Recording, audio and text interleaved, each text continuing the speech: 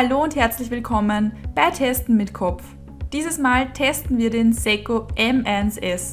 Und so viel können wir vorweg schon verraten, mit diesem Sorgwischroboter spielt nun auch Seco in der obersten Liga mit. Wir starten wie immer mit dem Lieferumfang. Im Paket finden wir eine Bedienungsanleitung, ein Ersatzwischtuch, eine Ersatzseitenbürste, ein Reinigungswerkzeug, die Station mit Netzteil und den einsatzbereiten Roboter. Weiter geht's mit den technischen Daten. Wir werfen nun einen Blick auf die wichtigsten Eckdaten. Der Preis liegt bei rund 700 Euro, die Laufzeit bei 3 Stunden und 15 Minuten, die Ladezeit bei 5 Stunden und 35 Minuten. Die Akkuleistung beträgt 5200 mAh, die Sorgkraft 3200 Pascal. Der Staubbehälter fast 450 ml, die beiden Wasserbehälter in der Station je 4 Liter. Die Maße betragen 35,5 x 9,5 cm und das Gewicht des Roboters liegt bei 4,65 kg. An seiner Vorderseite hat der Roboter einen Stoßdämpfer sowie einen Sensor für die Hinderniserkennung. An der Rückseite sehen wir die beiden Ladekontakte. An der Oberseite sehen wir außerdem zwei Knöpfe. Mit dem oberen kann der Roboter zur Ladestation zurückgesendet werden. Er fährt dann vorwärts ein, dreht sich in der Station aber um, um mit seinen Ladekontakten anzudocken. Per Knopf darunter wird der Roboter gestartet oder gestoppt. Natürlich stehen diese Befehle aber auch in der zugehörigen App zur Verfügung. Im Bumperturm an der Oberseite sitzt der LIDAR-Sensor. Der Roboter hat nämlich eine Lasernavigation. Nachdem die obere Abdeckung geöffnet wurde, lässt sich der Staubbehälter entnehmen, ebenso wie der darin eingesetzte Filter. Da der Seco M1S eine Waschstation, aber keine Absaugstation bietet, muss der Staubbehälter hier händisch entleert werden. Dabei sollte auch immer kurz der Filter ausgeklopft werden.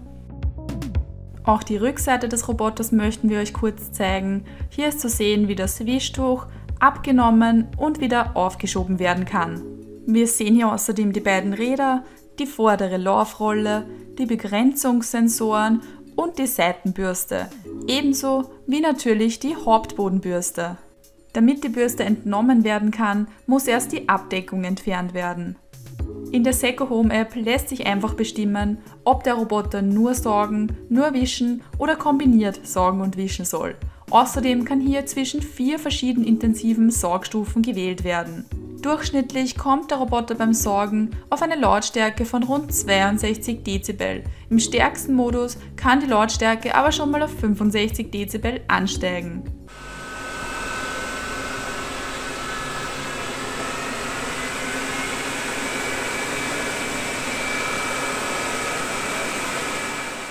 Der Seco M1S ermöglicht auch die Erstellung von Reinigungsplänen.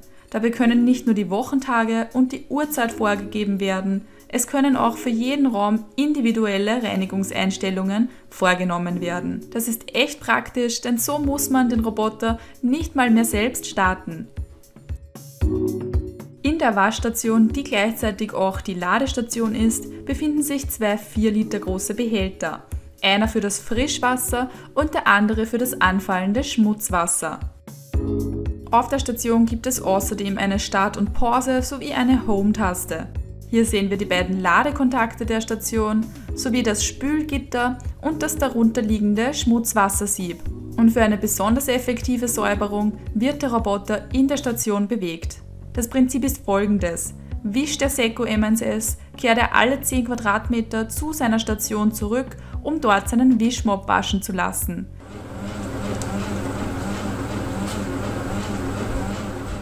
Das Wasser in der Station wird elektrochemisch desinfiziert. Seco verspricht hier eine Sterilisationsrate von 99,99%. ,99%. Das anfallende Schmutzwasser wird in den Schmutzwassertank gepumpt. Hat der Seco M1S seine Reinigungsaufgabe abgeschlossen, wird sein Wischmob in der Station übrigens nicht nur gewaschen, sondern anschließend auch getrocknet.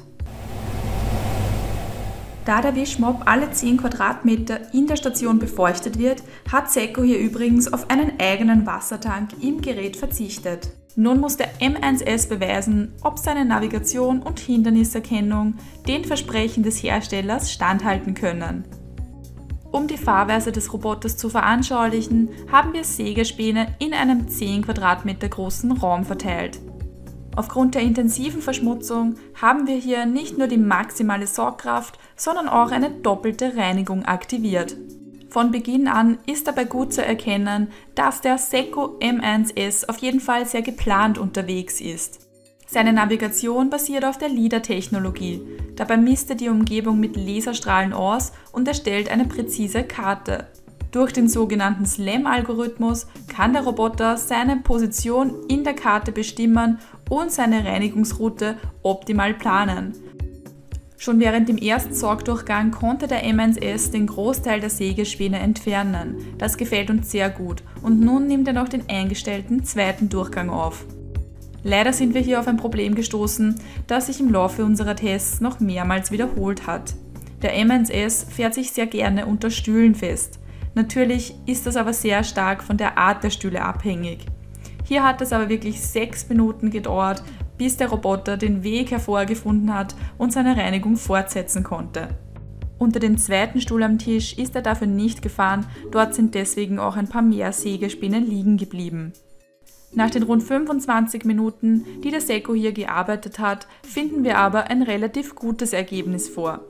Die Navigationsleistung des Roboters ist aufgrund der Problematik mit den Stühlen zwar nicht perfekt, aber im Großen und Ganzen arbeitet der Seco M1S definitiv sehr systematisch, geplant und effizient.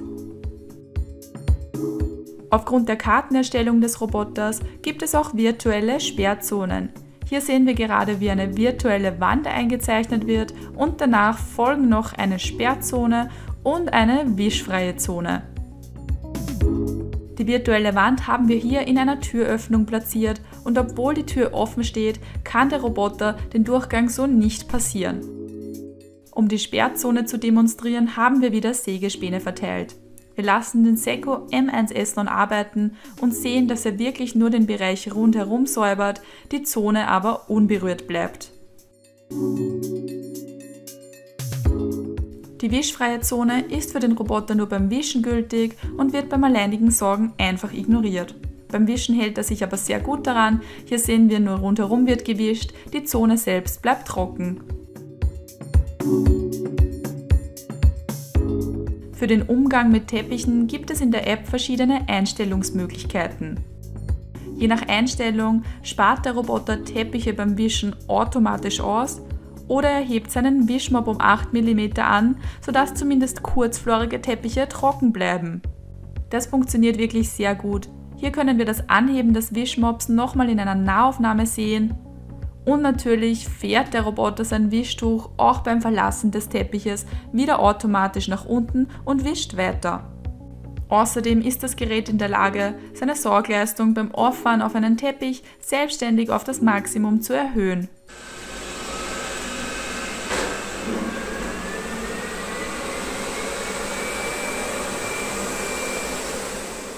Um die Hinderniserkennung zu testen, haben wir einen kleinen Parcours aufgebaut. Und hier stellen wir ziemlich schnell fest, dass die Hinderniserkennungstechnologie des Seco M1S zwar noch nicht perfekt ist, aber dass das Gerät dadurch wesentlich vorsichtiger mit Objekten auf dem Boden umgeht als Geräte ohne eine derartige Technologie.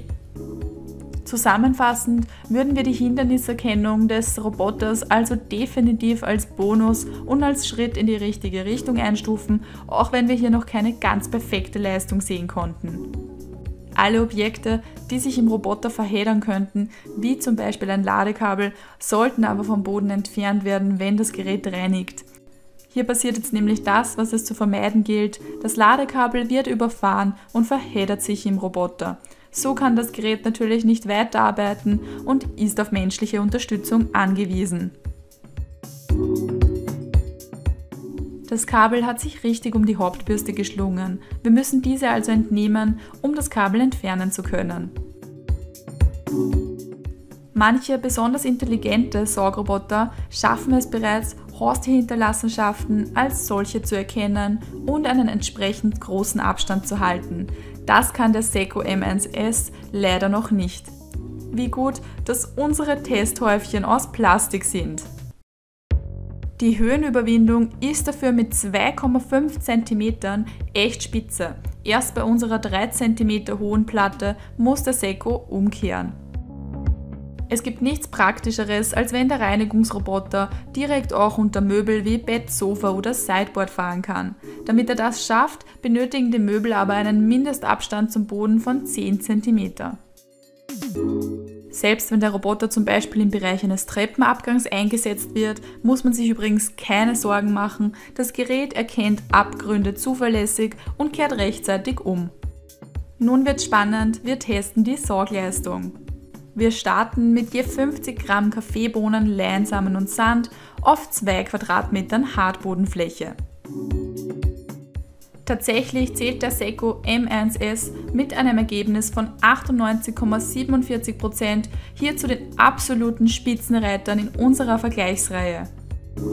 Mit rund 5 Minuten hat er hier aber auch vergleichsweise sehr lange gearbeitet. Aufgesaugt wurden 147,7 Gramm. Wir machen mit 50 Gramm Katzenstreu weiter und diese verteilen wir besonders gemein nur direkt um das Katzenklo herum. Gerade Ecken und Kanten sind für runde Saugroboter ja nicht einfach zu reinigen und dafür konnte der Seco M1S wieder eine ziemlich gute Leistung an den Tag legen.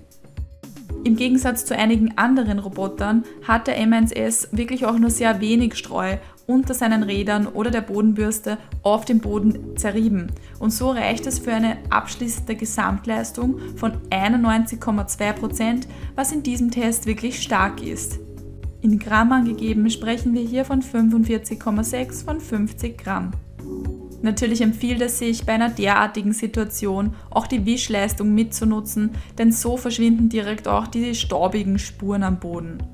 Nun wird es haarig. Wir haben lange Menschen und kurze Tierhaare auf unserer Testfläche verteilt.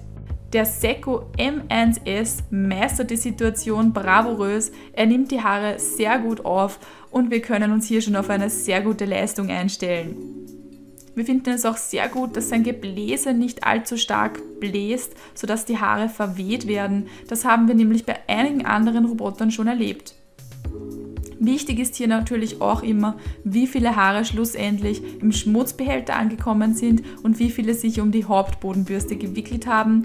Da der Roboter keine glatte, sondern eine Borstenbürste hat, ist der Reinigungsaufwand hier natürlich schon etwas größer als bei anderen Geräten. Rechts sehen wir, wie viele Haare im Staubbehälter angekommen sind und da ist erkennbar, dass sich doch sehr, sehr viele der langen Haare um die Bürste geschlungen und darin verheddert haben. Da die Endkappen der Bürste einfach abgenommen werden können, ist die Reinigung aber echt kein Problem. Wir wechseln den Untergrund und verteilen unser übliches Schmutzgemisch auf einem florlosen Sisalteppich. Aufgrund seiner tiefen Rillen ist dieser Teppich wirklich nicht leicht zu reinigen, doch der Sekko legt sich ins Zeug. Schlussendlich wird es aber doch nur für eine Leistung reichen, die sich irgendwo im Mittelfeld wiederfindet. Wir hatten hier sowohl schon Roboter, die deutlich besser, aber auch welche, die deutlich schlechter waren als der Seco M1S mit seinen 62,13%. Wir wiederholen den gleichen Test auf Kurzflorteppich. Immerhin möchten wir euch ein möglichst aussagekräftiges Testergebnis bieten können.